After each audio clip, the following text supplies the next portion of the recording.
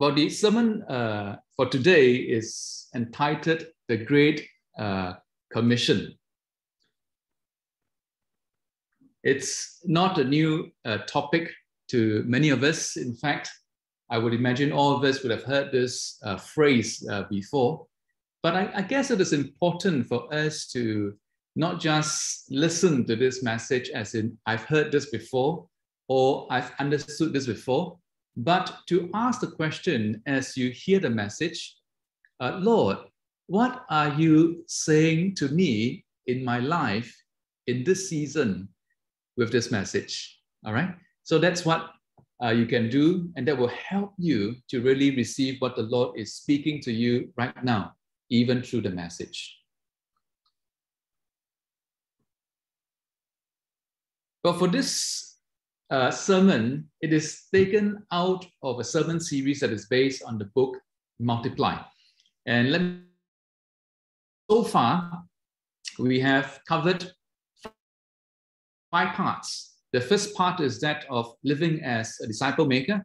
The second part is living as a church. Third part is how to study the Bible. And then we went on to the fourth part, which is understanding the Old Testament. And now we are in the fifth part, which is understanding the New Testament. And that's where we are taking the message from. Part five, understanding the New Testament, the Great Commission. So, for those of us who are new to this sermon series, although we are coming almost to the end, uh, fear not, you can download a free copy of the book uh, from the following link. And there is also uh, there are also videos in which you can watch and follow along if you want to catch up on some of the teachings that are found within this book. Apart from the materials that are found in the book, we also include additional materials which we think would help us better understand the topic. So, like today, I will be including the passage from Acts chapter 8, verse 26 to 40 to illustrate the topic, which is the Great Commission. Jesus' mission on earth was to see God's power, love, and healing permeate every aspect of this broken world and our broken lives. He came to see God's will done on earth as it is in heaven. Now, one day, Jesus will return to finish this task, to take all things and make them new. We find this in Revelations 21, verse 5. But in the meantime, he has given us, you and me, a mission to accomplish. So today we want to explore two areas to understand this mission that God has given to us. Now, first is the mission of the church. That's the first area we want to look at. The second area we want to look at is to understand the Great Commission. And of course, under this second area, there are five uh, sub points that will help us fully understand what the Great Commission is all about. So it covers the authority of Jesus, a worldwide mission, the call to make disciples, my presence will be with you, and the power of the Holy Spirit. So let's take a look at the first area, which is the mission of the church. Now, in every way, Jesus was what the world had been waiting for. He was the answer for all of Israel's hopes and the embodiment of God's plan of redemption. Nothing could be more important for this world than Jesus' mission on earth. As the disciples began to recognize that Jesus was truly the Christ, uh, seeing the importance of what Jesus was doing. Imagine how surprised and disappointed they must have been when Jesus died. And imagine how the excitement must have hit all-time high when he rose uh, from the grave. The mission to restore the world was, in a sense, back in motion. Jesus could now assume Israel's throne and rule the world in righteousness and peace. But that's not how the story goes, isn't it? At least not immediately. Instead of wrapping up human history then then, Jesus gave his disciples an all important task. And we find this task spelled out in Matthew chapter 28, verse 18 to 20. Let's take a look at it again. Jesus gave his charge. God authorized and commanded me to commission you. Go out and train everyone you meet, far and near, in this way of life, marking them by baptism in a threefold name Father, Son, and Holy Spirit. Then instruct them in the practice of all I have commanded you.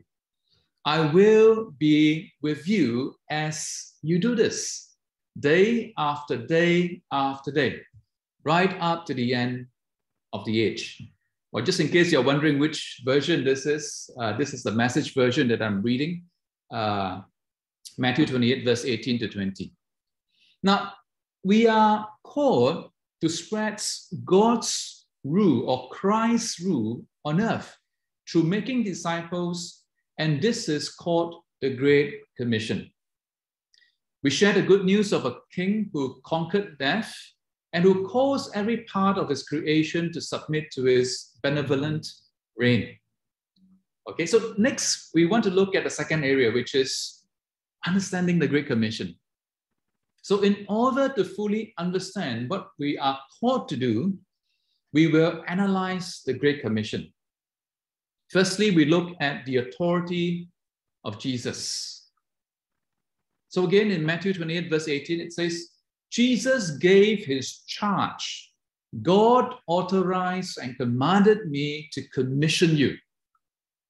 As Jesus delivered this command to his followers, he began with a very important statement God authorized and commanded me to commission you. Now, here we have the foundation of the Great Commission. We serve a king who over every square inch of creation.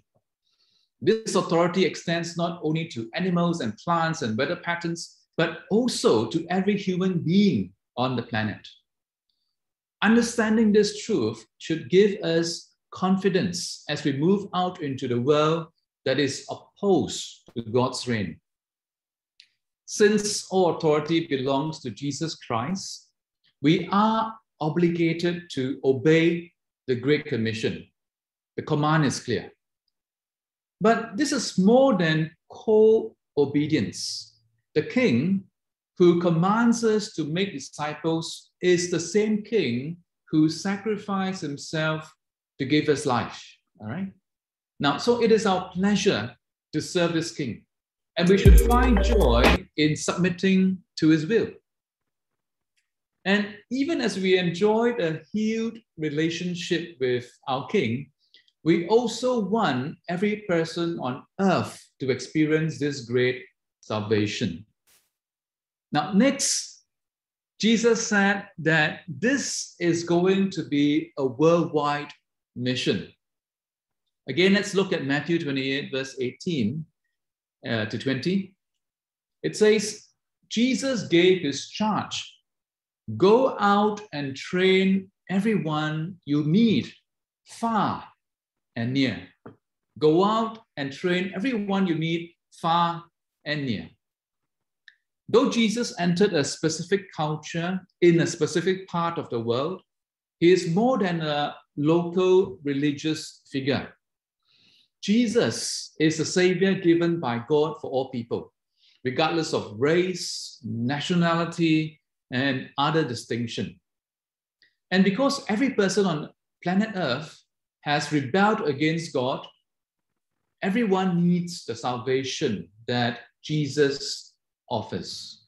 So, because of this, Jesus calls his church to move out into every corner of the world with this one and only hope of healing and of salvation.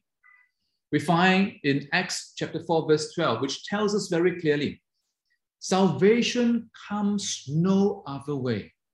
No other name has been or will be given to us by which we can be saved. Only this one. Now, this is a very important sentence and statement and, and verse for us. Let me read that again. Salvation comes no other way no matter how people think, there are many other ways to God. But the word of God tells us salvation comes no other way. No other name has been or will be given to us by which we can be saved. One, the name of Jesus. This worldwide mission belongs to the church, and it ought to characterize our efforts every day, yours and mine. There is no denying that the task of taking the gospel to the nations is massive. And not forgetting also our family members and friends and co workers who need to uh, know Jesus as well. Now, thankfully, we aren't alone in this supernatural task. Making disciples is ultimately God's work, and He will accomplish it in His power. All right? But God's commitment to His plan of redemption does not absolve us from our responsibility to obey His commands. God will reach every corner of this earth uh, and he has chosen to accomplish this task by working through his church, referring to you and to me. Okay? So at this point in time, it is good for me to talk about the mission work of the Diocese of Singapore. The Diocese of Singapore covers six other countries beside the island of Singapore. Uh, namely, the Diocese of Singapore look after uh, Cambodia, Indonesia, Laos, Nepal, Thailand, and then Vietnam, six other countries. So the Diocese of Singapore proclaims the gospel we have received with the aim of establishing indigenous dioceses, meaning local worshipping communities in those countries among the nations under our care and to support the missions of other uh, beyond our own diocese. Now, once uh, travel is allowed, we want to explore overseas mission uh, in these six countries that belongs to the mission work of the Diocese of Singapore. Well, you can visit the Anglican Mission website to find out more. There are lots of information, including videos of the mission work in these six countries. And I, I encourage you to quickly take a snapshot of this uh, uh, this slide, it has got the website address to the Anglican mission work. And I'm sure you'll find many things inside there that will stir your spirit and you can pray along for all those who are involved in this ministry. Next, Jesus gave us the call to make disciples. So again in Matthew 28, Jesus gave his charge go out and train Instruct them in the practice of all I have commanded you. Disciple making is rooted in God's plan of redemption, central to God's heart for his people. And as we have said, a disciple is simply a follower of Jesus. If we believe that Jesus is who he says he is, and we do what he tells us to do, then we are his disciples, as simple as that. So the process of disciple making amounts to telling other people about Jesus and calling them to follow him as well. So telling people about Jesus and calling them to follow him. Jesus said that in making disciples of all nations, we are to baptize them in the name of the Father, the Son, and the Holy Spirit, and to teach them to obey all that he commanded. So, the first step for those who choose to follow Jesus Christ and have been transformed by his Spirit, then is to identify with Christ through being baptized. Just as Jesus was buried in the earth and then raised up into new life, so the new Christian is buried under uh, the water in baptism and brought up again as a symbol of the new life he or she has received. Baptism also initiates a new believer into Christ's church, where he or she becomes a member of a local body of believers, just like us in St. Andrew City Church. This initial step is non negotiable.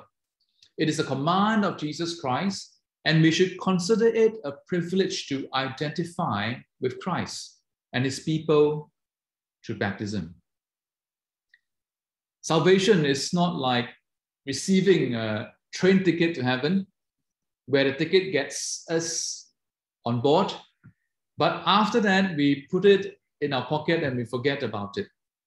Rather, salvation is like a marriage where we can enter into a relationship with Jesus Christ and become a part of his family, the church, right? So the Christian life is a process of better understanding what Jesus taught, learning to apply that teaching in our everyday lives, and then teaching others around us and people on the other side of the globe to do the same. Next, Jesus said, My presence will be with you, even as you embark on this great mission. In Matthew 28, the highlighted version, portion rather, it says, I will you do this day after day after day, right up to the end of the age. If the Great Commission sounds impossible to you, that is because it is true, it is. As daunting as a task to make disciples of all nations on the face of the earth would be by itself, we also face serious opposition, isn't it? We have got Satan, the world, and our sinful desires fighting against our growth in the Christian life and in, against us in the advancement of the gospel. And Paul warns us that if we are going to live out this mission, we will experience persecution. You heard it right. Paul warns us that if we are going to live out this mission, we will experience persecution. So we find this in 2 Timothy 3:12. It tells us very simply and plainly. Anyone who wants to live out, uh, live all out for Christ is in for a lot of trouble. There is no getting around it. It can't get clearer than that. Let me read that again. Anyone who wants to live all out for Christ is in for a lot of trouble. There is no getting around it. This very day, Christians around the world are being persecuted, beaten, and even put to death for identifying with Jesus Christ. We are mistaken if we think our message will always be received warmly. But while opposition is real and intimidating, Jesus' final words in the Great Commission should give us great courage. Let me read that to you again. I will be with you as you do this. I will be with you as you do this day after day after day, right up to the end of the age. Isn't it wonderful? The promise of Jesus that he will be with us day after day after day, right up to the end of the age. Jesus' very presence is promised to you and to me so that we do not need to be afraid. And finally, I want to close off with this final point which is the power of the Holy Spirit. I would like to share the story of Philip and the Ethiopian eunuch from the book of Acts to encourage us to go in the power of the Holy Spirit. But interestingly, this story also illustrates for us before other points before, which is a worldwide mission the call to make disciples, and my presence will be with you. Let's take a look. So let us recount uh, the story in Acts chapter 8, 26 to 40. So an angel of the Lord said to Philip, Go south down the desert road that runs from Jerusalem to Gaza. So Philip started out and he met the treasurer of Ethiopia, and eunuch of great authority under the Candace, the queen of Ethiopia. Although this eunuch has great authority, Jesus said, or rather, Jesus is saying to you and to me that all authority, which is the greatest, has been given to him. And he has commissioned us to go and so that we do not have to be afraid, even if we have to speak to someone with authority. Isn't it interesting? The eunuch had gone to Jerusalem to worship, and he was now returning, seated in his carriage. He was reading aloud from the book of the prophet Isaiah. And the Holy Spirit said to Philip, Go over and walk along beside the carriage. So here we see the Holy Spirit at work, prompting Philip to go near and later guiding him in his sharing with the eunuch. And we also see the call to a worldwide mission, isn't it? The good news is not just restricted to the Jews, but even to this eunuch from Ethiopia. So Philip ran over and heard the man reading from the prophet Isaiah. And Philip asked this eunuch, Do you understand what you are reading? And the eunuch replied, How can I, unless someone instructs me? And he urged Philip to come up into the carriage and sit with him.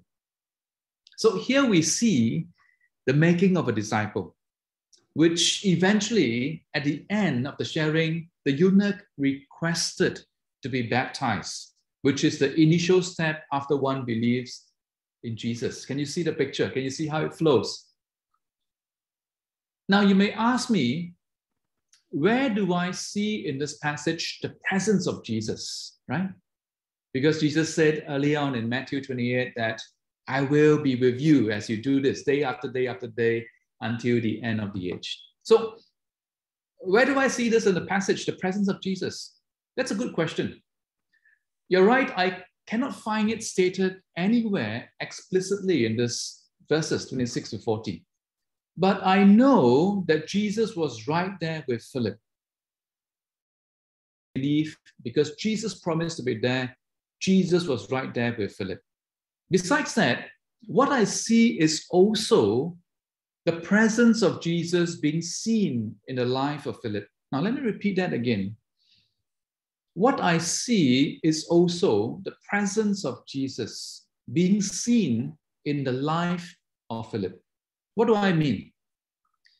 One of the doctrine is called incarnation. God becoming man so that he can identify with us and we relate to him. Now, in some ways, Philippians 2 describe this for us. You must have the same attitude that Christ Jesus had. Though he was God, he did not think of equality with God as something to cling to. Instead, he gave up his divine privileges he took the humble position of a slave and was, and was born as a human being, right? So God becoming man. Jesus spends time with people so that he can relate to them and they relate to him. When you look at the passage, we find Philip doing just that. Philip go to the desert to spend time with, he don't know who yet, he just went because the angel told him to. And Philip go over and walk along beside the carriage. Philip heard what the eunuch was reading. And Philip asked, Do you understand what you are reading? Philip went up to the carriage to sit with the eunuch, and they journeyed together. Philip had a conversation with the eunuch on things that bothered him. And eventually, Philip shared the good news. And this is what we are to do as well, you and me. Go as the Holy Spirit leads you to. It may be an uncomfortable place, like for Philip, it was the desert road. Go over and walk along with the person. It could be a colleague, it could be a friend, a family member, or maybe even someone whom you hardly know. Go journey with the person. Listen to what is on the person's mind. The person may not disclose all at once, but as you show interest and concern, there's a high chance that the person will open up. Take your mind off this, uh, this thought I need to convert this person. I need to convert this person. Uh, take your mind off that. Rather, focus on journeying with the person who has a need that Jesus can meet. Let me repeat that again. Take your mind off this statement. Rather, focus on journeying with the person who has a need that Jesus can meet. Ask the Holy Spirit to guide you in your conversation. The Holy Spirit can prompt you with uh, a timely statement or a word that matters to the person. Now, this is what I experienced recently. I was given a statement by the Holy Spirit that does not matter to me, but it mattered a lot to the person whom I'm speaking to. And when I release it in obedience and in a loving and concerned uh, manner, the word just landed on the person's heart like a ton of brick. I was amazed. But the Holy Spirit has got a timely word that you can hear and release and give it to the person. Now, share, then share what you know and have experience about God, His love, His protection, His providence for you and your family. And then when the opportunity arises, uh, share the good news, share the gospel. This pandemic has somewhat dampened our momentum for sharing the good news through big events. And in turn, it has dampened our own momentum to share the good news with others as well. We want to recognize it, we want to admit it, and we want to ask God to help us pick up the momentum, right? Even for me. Way before this pandemic, Jesus promised that the church will fulfill its mission. In Matthew 16 18, Jesus said this This is the rock on which I will put together my church, a church so expansive with energy that not even the gates of hell will be able to keep it out. I really like these four words so expensive with energy. And my prayer is this Lord, I pray that you revise, revive us and grants us this expensive energy. God chose to fulfill his promises on earth through his church, and he does not have a backup plan. God will use us, you and me, as a church to reach the world with the hope and healing that is found in Jesus Christ. Oh, as I end the message today, I think it is good for us to respond to what the Lord is saying to us. Like I mentioned as I begin in this message, uh, this is not a new message. The Great Commission, we've heard it before in various ways, but we want to ask, Lord, what are you saying to me in my life, in this season, with this word? So as I end, I want to guide us in responding to the Lord with a few things that I've spelled out.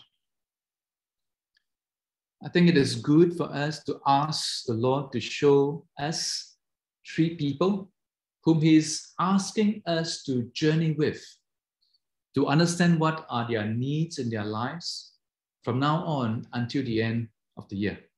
Okay? So we ask the Lord, Lord, whom are you showing me that you want me to reach out to and I can journey with from now on until the end of the year?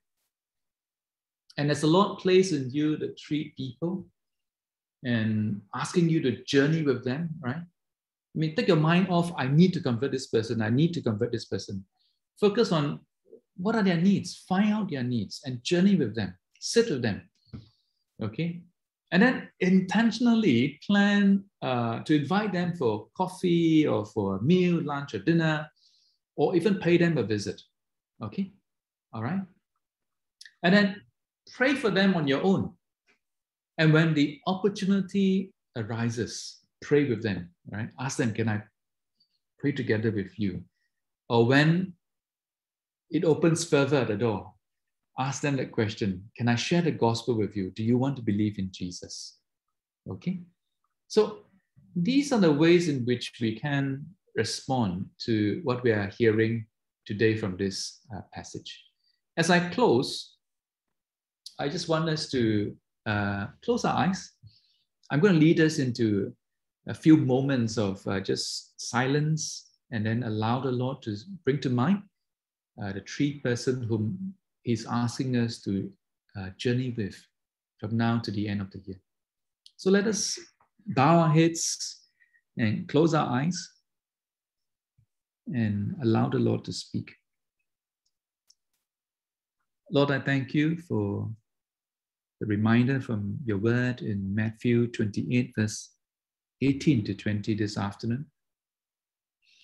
Lord, as we hear your word, not a new word, we've heard this before, but we ask that you would speak to us, uh, whom you are asking us to journey with, the three person from now to the end of the year. Let's spend a few moments just allowing the Lord to speak to us.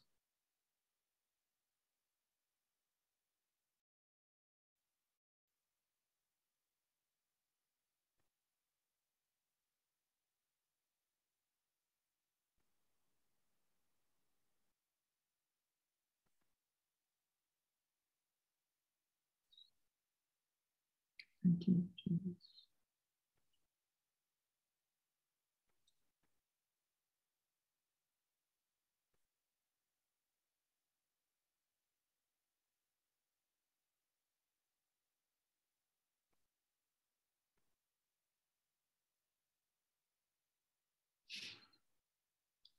Lord, we thank you for your promise to us that you uh, you are with us day after day after day until the end of the age, even as we embark on this mission that you have entrusted to us. Lord, I thank you for giving us the, a picture of the three person, the names of this three person. We pray, Lord, that you grant us the grace to journey with these three people from now to the end of the year. Uh, grant us the grace to uh, converse with them, to spend time with them, and to know how we can help them, Lord, in this season of their lives. Uh, there are things that we do not know and understand, so we ask for wisdom, we ask for discernment, and we ask that you provide us with the right resources uh, that would be of help to these three people. So we thank you once again for hearing our prayers. We, we ask, Lord, as we journey on from now to the end of the year, uh, help us to pick up the momentum to uh, lift up your name and to move forward to share with others your love, your grace, and your mercy. So, Lord, we thank you. We pray this and we ask this in Jesus' name. Amen. Amen.